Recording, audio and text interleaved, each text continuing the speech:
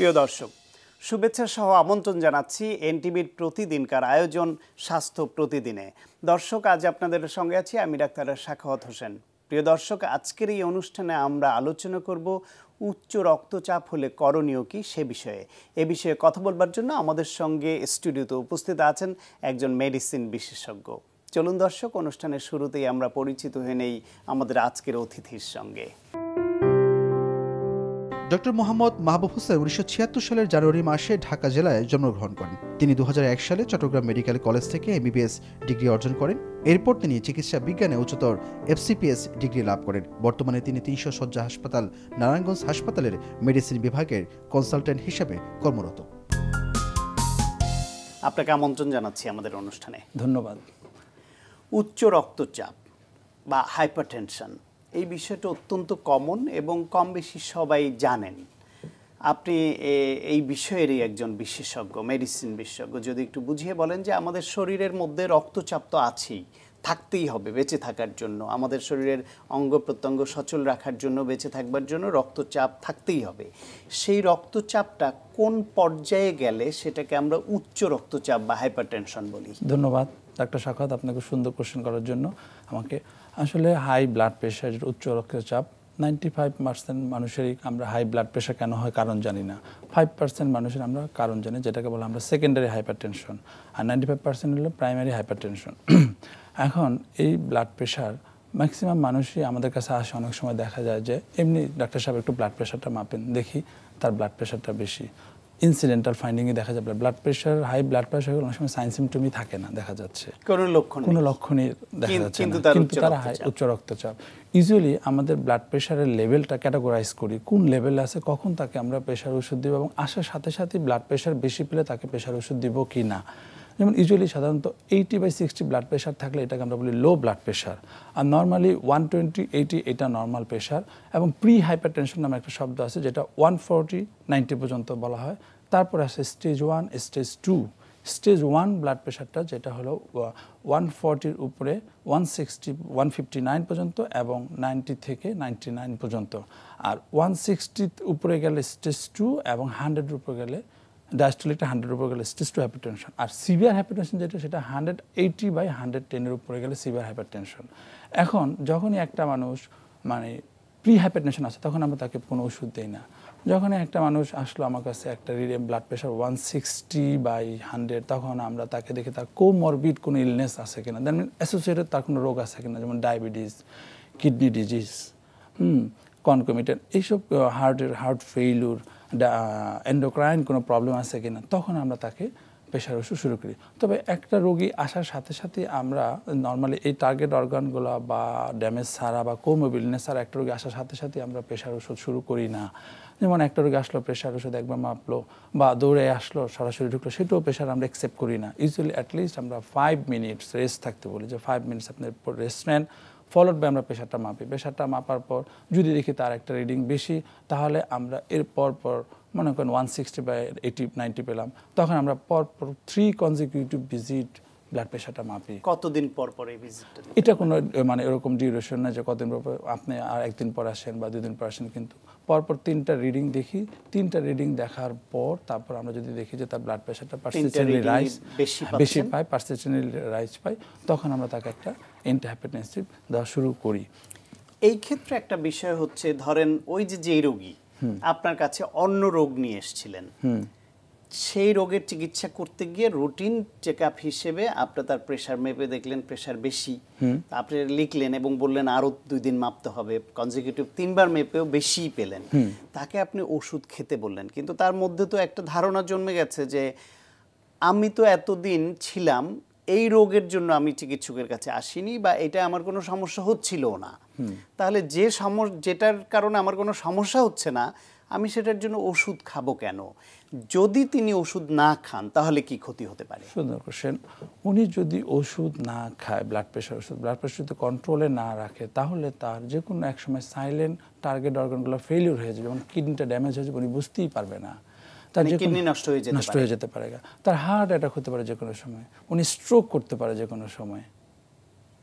সে কারণে তার এটা অবশ্যই নিয়ন্ত্রণে রাখা এবং অবশ্যই তাকে নিয়ন্ত্রণ রাখতে হবে এবং একটা টার্গেট লেভেলে তাকে ব্লাড প্রেশারটা মেনটেন রাখতে হবে। যেমন মনে করেন একশো বিশ থেকে আশি পর্যন্ত নর্মাল ইউজুয়ালি আমরা ওয়ান ফোরটি থেকে নাইনটি পর্যন্ত আপার লিমিট এই দুইটার মাঝখানে যে কোনো একটা রেঞ্জে ওয়ান থার্টি এইট এরকম একটা অ্যাভারেজ রেঞ্জে তাকে ব্লাড প্রেশারটা রেগুলার মেনটেন রাখতে হবে উইথ ড্রাগস তবে এর সাথে কন কনকমিটেন্ট তারা আরও কিছু প্রাইমারি প্রিভেনশনও লাগবে। যেমন মনে করেন তাকে ডাইটারি মডিফিকেশন করতে হবে সল্ট রেস্ট্রিকশন করতে হবে এক্সারসাইজ করতে হবে, এবং কিছু ফ্রুটস খেতে হবে গ্রিন ফ্রুটস ভেজিটেবলস খেতে হবে ওয়েট রিডাকশন করতে হবে, এবং কিছু খাবার আছে যেগুলো খেলে ব্লাড প্রেশার কমে, বাড়ে সেগুলো অ্যাভয়েড করতে হবে রিচ ফুডগুলো অ্যাভয়েড করতে হবে, এবং একটা রুটিন চেক থাকতে হবে কোলেস্ট্রল লেভেলটা দেখতে হবে তার, একটা রুটিন পরীক্ষা করে তার কিডনি প্লাস তার ঠিক আছে কিনা দেখতে হবে ডায়াবেটিস আছে কিনা দেখতে হবে হার্ট ঠিক আছে কিনা দেখতে হবে হরমোন থাইরয়েড হরমোন ঠিক আছে কিনা এগুলো দেখতে হবে ইলোক্লাইট করে দেখতে হবে সোডিয়াম পটাশিয়াম এগুলো ঠিক আছে কিনা। এগুলি কতদিন পর পর আপনার রুটিন চেক আপ করতে বলেন? সুন্দর। শুরুতে যখন আসবে, তখন আমরা একটা রোগীর হাই প্রেশার আসলে তাকে আমরা কনকমিটেন্ট কয়েকটা পরীক্ষা করিয়ে নিব। যে পরীক্ষাগুলোতে ইন্ডিকেট করবে তার কোনো অন্য কোনো ডিজিজ আছে কিনা বা এটা কি প্রাইমারি হাইপারটেনশন না সেকেন্ডারি কোনো কারণে তার ব্লাড প্রেশারটা বেড়ে গেছে, সেই কারণে সে সাইলেন্ট ছিল, কোনো ডাক্তার কাছে আসছে। তা ধরা পড়ছে। যেমন একটা ইউরিনারি পরীক্ষা করে নেবে ইউরিনারির মধ্যে আমরা একটা গ্লুকোজ দেখতে পারি, একটা প্রোটিন আছে কিনা দেখতে পারি হ্যাঁ? কনকমিটেন্ট আমরা টিসিজি করে দেখতে পারি, তার ইসিজিতে কোনো চেঞ্জ আছে কিনা হ্যাঁ? একটা ব্লাড সুগার করে দেখতে পারি, একটা থাইরয়েড হরমোন করে দেখতে পারি, তার হাইপারথাইরয়েডিজম বা হাইপারথাইরয়েডিজম আছে কিনা ইলোক্লাইড করে দেখতে পারি, তার ছোটোবেলা থেকে কোনো অন্য কোনো রোগ আছে কিনা। এগুলো একটা ব্লাড প্রেশার কন্ট্রোল হয়ে গেলে তখন আমরা একটা রুটিন ফলো আপে রেখে দেবো আর কি পেশেন্টকে যে আপনারা আসবেন, দুই, তিন মাস পর পর দেখাবেন ডাক্তারকে এবং একটা রুটিন চেক আপ করে নেবেন।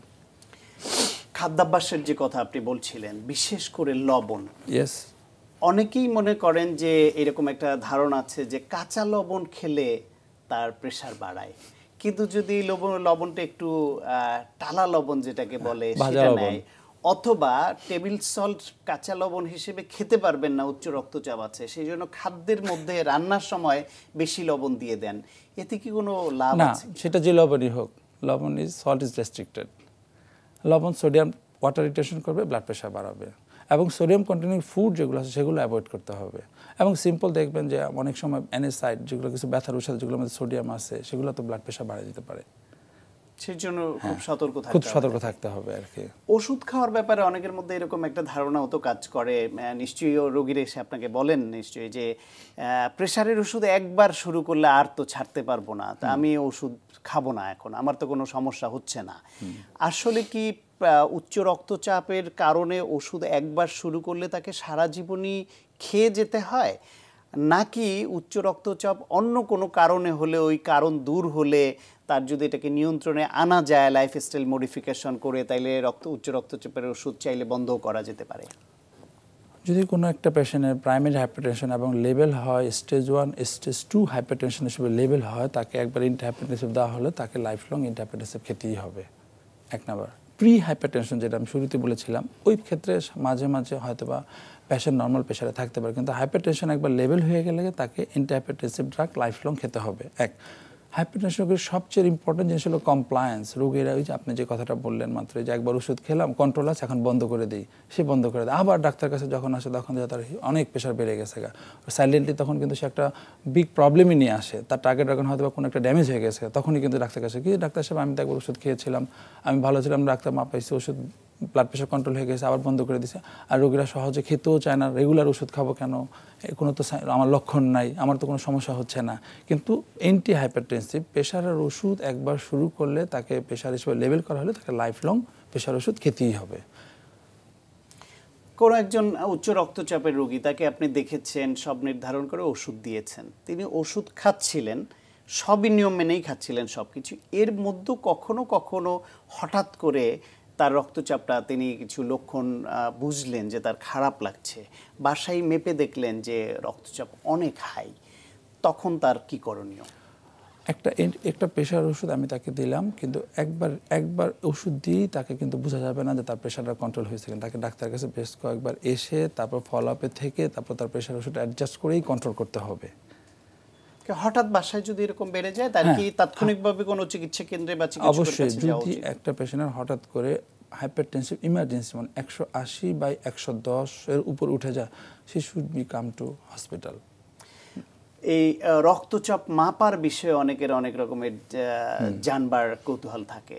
তিনি রক্তচাপ কি বাসায় মাপবেন বা মাপলে কি ধরনের মেশিন? এখন তো অনেক ডিজিটাল মেশিনও আছে। সেই ক্ষেত্রে কি ধরনের মেশিন ইউজ করবেন এবং কতদিন পর পর মাপা উচিত? নাকি তাকে রেগুলার চিকিৎসকের কাছে গিয়ে মাপতে হবে? সুন্দর কোশ্চেন ব্লাড প্রেশার ইউজুয়ালি অনেক ডিজিটাল মেশিন বের হয়ে গেছে। ওগুলোতে আসলে খুব সুন্দর রিডিং আসে না এবং সব সময় প্রেশার একজাক্ট রিডিং দেয় না। ওইটার মধ্যে অনেক সময় আছে। রোগীর ওটা দেখে আমার এত ব্লাড প্রেশার বেড়ে গেছে আমার মনে হয় প্রেশার হয়ে গেছে রোগীরা ভয় পেয়ে যায়। ইউজুয়ালি ম্যানুয়াল মেশিন যেগুলো আমরা মাপি ম্যানুয়াল মেশিন ওগুলাতে মাপাটাই বেটার সেটা দিয়ে নিজেরা বাসায় মাপতে পারবেন। বাসায় শিখতে মানে হবে। একজনটা আরেকজনের হ্যাঁ, মেপে একজন শিখে নিতে হবে এটা। এক নম্বর বাসায় ব্লাড প্রেশার মেশিনটা শিখে নিতে হবে। অথবা ডাক্তারের কাছে এসে মাপতে হবে।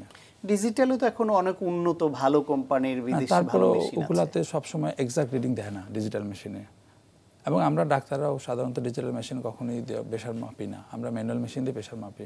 ইউজুয়ালি এক হাতে প্রেশার বেশি পেলে আমরা কনকমিটার আরেক হাতে প্রেশার মেপে দেখি যে তার প্রেশার ঠিক আছে কিনা।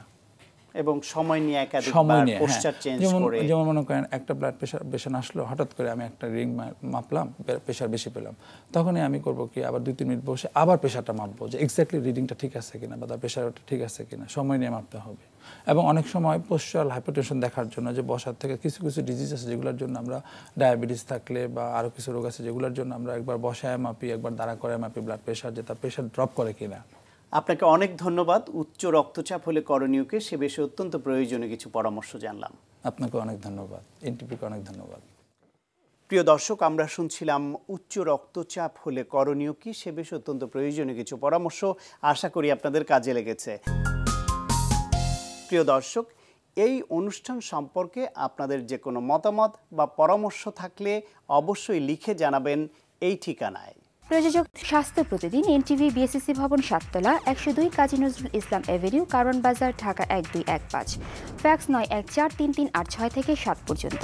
অথবা ইমেল করুন স্বাস্থ্য প্রতিদিন অ্যাট এনটিভিপিডি ডট কম এই ঠিকানায়। প্রিয় দর্শক, আপনার প্রিয় অনুষ্ঠান স্বাস্থ্য প্রতিদিন দেখতে ভিজিট করুন www.ntbbd.com এছাড়াও এনটিভির জনপ্রিয় সব অনুষ্ঠান ও খবরের আপডেট জানতে ভিজিট করুন আমাদের ইউটিউব ও ভেরিফাইড ফেসবুক পেজ। দর্শক, আজ এ পর্যন্তই। সবাই ভালো থাকুন, সুস্থ থাকুন এবং অবশ্যই থাকুন নিরাপদে। দেখা হবে আগামীকাল ঠিক একই সময়ে নতুন কোনো অতিথি নিয়ে।